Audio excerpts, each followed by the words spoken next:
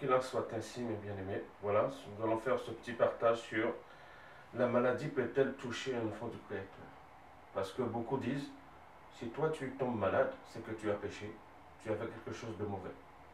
Nous allons voir cela à la lumière des Écritures, à la lumière de la parole du Créateur. Et comme j'ai souvent l'habitude de faire, c'est de prier. Parce que c'est la respiration des Israélites, de ceux qui s'approchent du Créateur, c'est de prier, de lui parler. Père, je te remercie pour cette journée qui commence. Merci pour ton amour. Merci pour ta présence. Merci encore pour ta miséricorde qui durera toujours. Merci, peu importe l'endroit où nous nous trouvons, nous devons toujours chercher ta face. Prier à toi, parce que tu es un soutien n'a plus que ne manquera jamais dans la détresse. Qu'il en soit ainsi. Le Créateur, il est souverain dans, sur toutes décisions humaines. Nous avons tous sortes de pensées, mais au final, c'est le Créateur qui décide. Au final, c'est lui qui décide. Regardez un petit peu Élisée. Dans 2 Rois chapitre 13, verset 14, verset 20-21. Élisée était malade, était atteint de la maladie dont il mourut. Et Joras, roi d'Israël, descendit vers lui, pleura sous son visage et dit, Mon père, mon père, char d'Israël et sa cavalerie. Il est bien dit dans ce verset, il était malade de la maladie. Il était atteint de la maladie dont il mourut, excusez-moi. Il était atteint de la maladie dont il mourut. Nous allons nous poser juste cette question. Pourquoi est-il tombé malade? Qu'est-ce qui lui est arrivé? En lisant les Saintes Écritures, je ne pense pas avoir trouvé. Alors, c'était un prophète du Créateur. Nous pouvons tous nous dire, mais pourquoi cet homme-là est un serviteur du Créateur? Pourquoi est-il tombé malade? Nous ne savons pas. D'accord Il est bien dit, il était atteint de la maladie dont il mourut. À cause de cette maladie, il a perdu sa vie. Continuons encore aujourd'hui. Nous avons Tropine, c'est 2 Timothée chapitre 4 verset 20. Il nous est dit, Eraste est resté à Corinthe. J'ai laissé Tropine malade à Mélée. C'est ça qu'il a dit, l'apôtre Paul. Pensez-vous, pouvons-nous nous poser cette question? Est-ce que Paul n'a pas prié pour Tropine? Pourquoi Tropine est tombée malade? Continuons encore. Nous allons voir aussi Épaphrodite. C'est Philippiens chapitre 2, versets 25 à 27. J'ai estimé nécessaire de vous envoyer mon frère Épaphrodite, mon compagnon d'œuvre et de combat, par qui vous m'avez fait parvenir de quoi pouvoir à mes besoins? Car il désirait vous voir tous, et il était fort en peine de ce que vous aviez appris sa maladie. Il a été malade, en effet, et tout près de la mort, mais Dieu a eu pitié de lui. Écoutez bien, il a été malade, en effet, et tout près de la mort, mais le Créateur a eu pitié de lui, et non seulement de lui, mais aussi de moi, afin que je n'use pas tristesse sur tristesse. Il est bien dit. Hein. Il était fort en peine que vous aviez appris sa maladie. Et Paphrodite était en peine de cela. Mais il était malade en effet près de la mort. Et qui c'est qui l'a fait sortir de cet état? C'est le Créateur. C'est pourquoi je vous ai lu au départ. Le Créateur est souverain sur toute décision humaine. Nous avons toutes sortes de pensées, mais au final, c'est le Créateur qui décide qui doit mourir et qui doit rester en vie. D'accord? Continuons. La veille de naissance. C'est Jean chapitre 9, verset 1 à, 3. J'ai le Machia en passant. Il y avait un homme avec de naissance. Ses disciples lui firent cette question. Rabbi, qui a péché? Cet homme ou ses parents? Pour qu'il soit né aveugle. Même les disciples, nous, avons les mêmes pensées qu'eux. Lorsque nous voyons quelqu'un qui est malade, nous disons, mais qui a péché? Qui a péché? Qu'est-ce que cet homme a fait? Ses parents ont fait quelque chose, ses arrière-parents, etc. ont fait quelque chose. Qui a péché? Regardez, regardons un petit peu la réponse du Machia. Le Machia répondit, ce n'est pas que lui ou ses parents aient péché. Lui ou ses parents aient péché. Ce n'est pas cela. Il dit, mais c'est afin que les œuvres du Créateur soient manifestées en lui. Voilà ce que nous revenons sur Épaphrodite. Qu'est-ce qu'il dit? Il a été malade. En effet, et tout près de la mort, mais c'est le Créateur qui a eu pitié de lui. Donc, cet homme aussi de naissance, qu'est-ce qui s'est passé? Aveugle de naissance, excusez-moi, mais c'est afin que les œuvres du Créateur se manifestent. La même façon que l'œuvre du, Créateur s'est manifestée par rapport à Hermaphrodite, c'est la même chose qui se passe, qui s'est passée par rapport à la veille de naissance.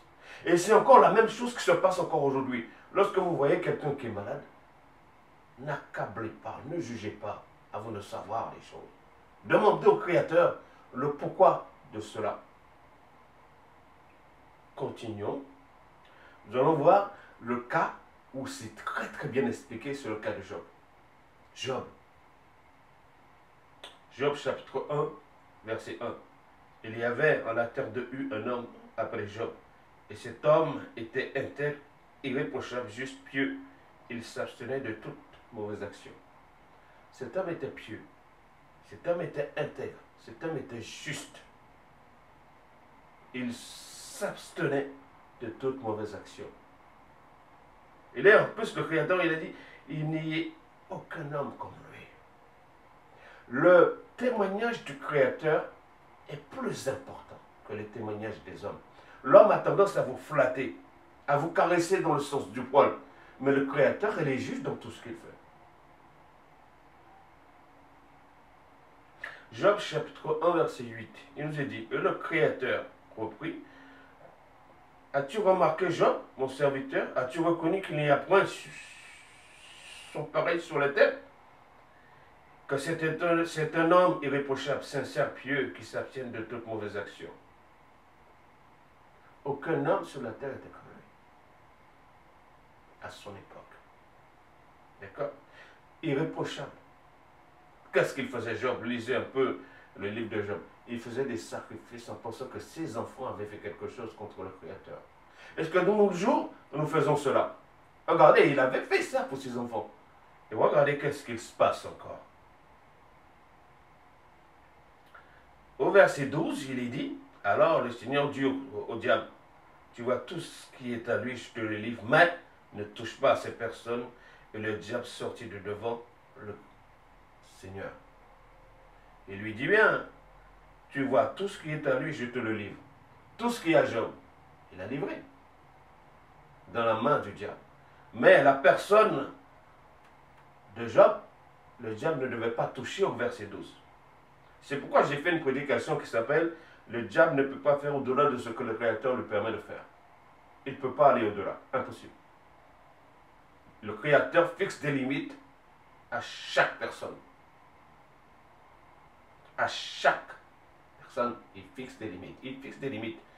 S'il te donne une capacité, c'est pourquoi nous avons le fameux verset qui dit Je puis tout par le Machia qui me fortifie. Je peux faire ce qu'il me permet de faire. C'est tout. Mais tu peux pas aller au-delà. Donc, nous voyons bien hein, au verset 12 le diable ne peut pas faire au-delà de ce que Dieu lui permet. Il lui dit Tout ce qui est à lui, je te le livre, mais tu ne touches pas sa personne au verset 21-22 du même chapitre, Nu je suis sorti des entrailles de ma mère et nu je partirai d'ici. Le Créateur n'avait donné, le Créateur m'a ôté. Il est advenu comme il a plu au Créateur, béni soit le nom du Créateur. Malgré tout cela, écoutez bien verset 22, malgré tout ce qui lui est arrivé, Job n'est pécha point contre le Créateur il n'accusa point le Tout-Puissant d'avoir manqué de sa sagesse.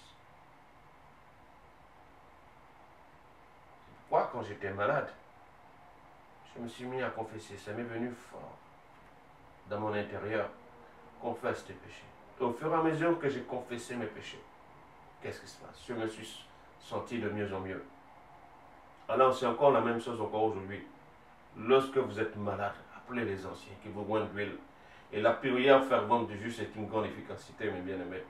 Regardez encore Job, il est bien dit, hein, il ne pécha point contre le Créateur.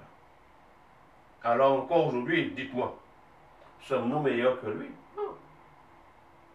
Tout a été écrit pour nous servir d'exemple. Alors prenons ces exemples-là et appliquons-les à nos vies.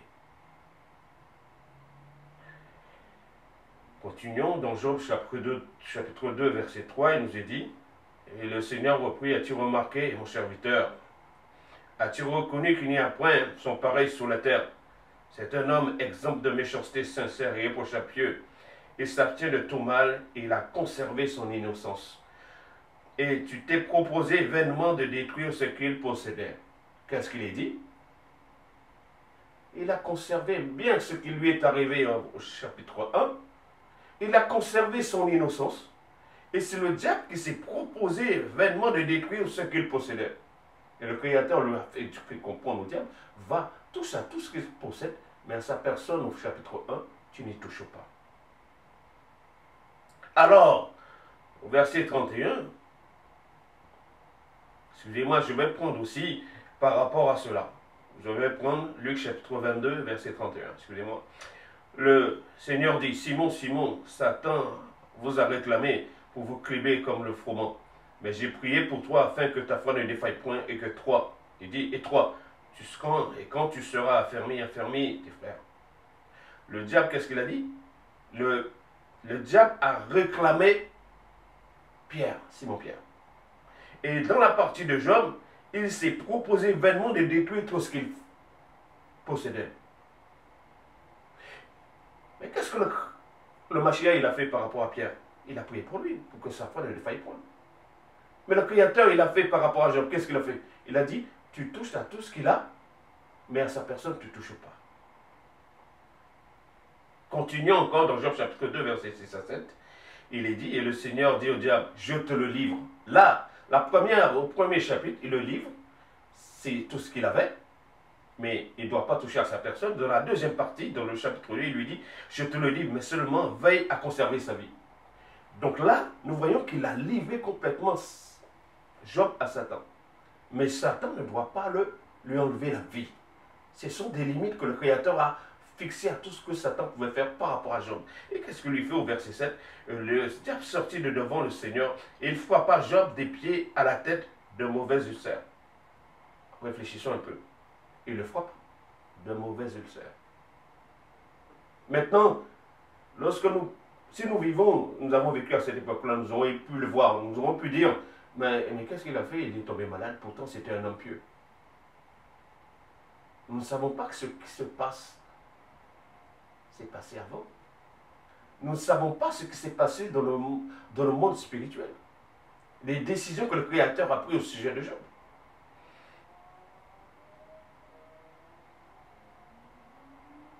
Job dit dans le verset 12, verset 10, dans Job chapitre 2, Or, l'ayant regardé, fixement et lui dit, tu parles comme une femme insensée. Si nous avons accepté les biens de la main du Seigneur, ne supportons pas le mal, malgré ce qui lui est arrivé? Job ne pécha nullement des lèvres devant le Créateur.